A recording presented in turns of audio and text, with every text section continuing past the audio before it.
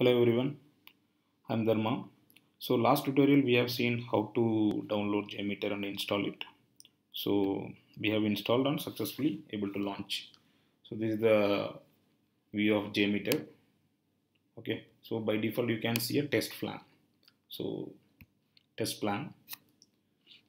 Here I'm going to create, this is a project name like little bit test plan and right click, go to add, there you can see so many things so first of all you have to set threads. Threads. So these threads i will let you know later actually in next.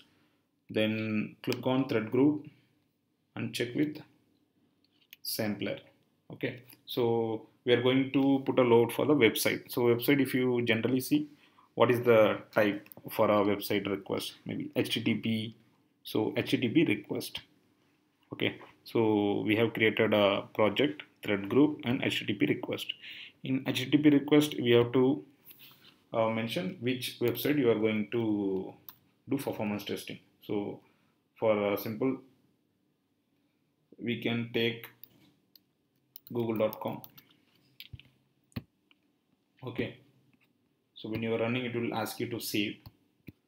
Something like you can say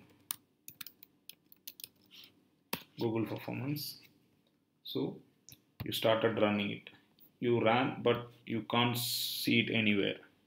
So we need to see what happened at backend for that you need to add a listeners. So it will listen and it will tell you what happened after run. So add a view result tree. Just save it and run again.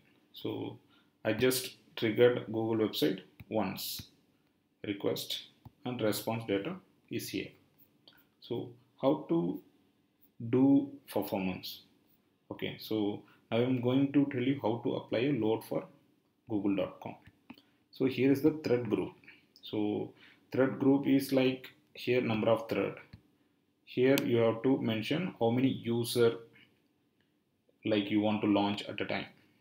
Okay so I'm giving 10 user ramp up period is in one second. 10 users should reach the server. That is ramp up period. If I give 10 10 seconds so each one second one one user will go to the server like uh, will reach the server. But I don't want to give that. I, I will give just one second.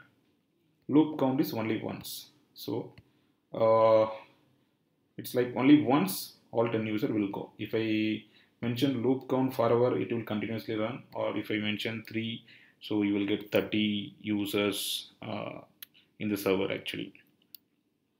Okay just keep it one and save.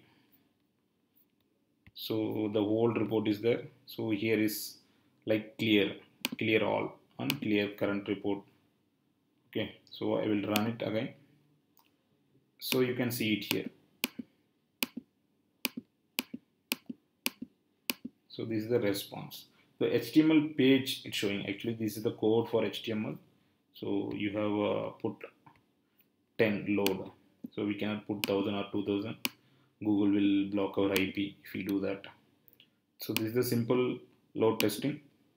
Maybe in next tutorial we can see uh, like for adding a, a, multiple component or how to record uh, like web ui actions. Okay if you have any doubt just put in comments. If you face any issue with configuration.